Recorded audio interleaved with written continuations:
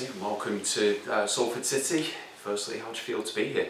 Yeah, yeah, delighted. Um, delighted to be here, excited as well. Um, obviously a unique club.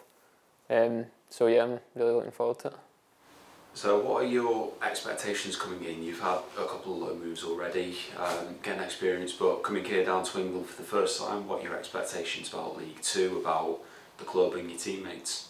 Um, I have obviously had a few loan spells in Scotland, but obviously it's different. Um, coming down to England, uh, very tough league, um, physical and a, a good level, so I'm, I'm looking forward to it.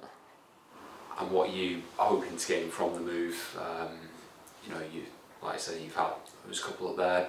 Will it be a different challenge coming to play in England? Do you feel?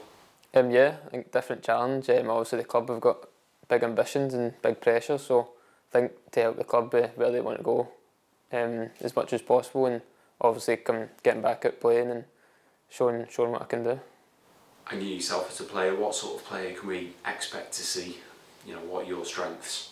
Um, obviously I like getting on the ball um, as much as I can. Um, give hundred percent every game, a lot of energy, and get about the pitch. But I like I like getting on the ball.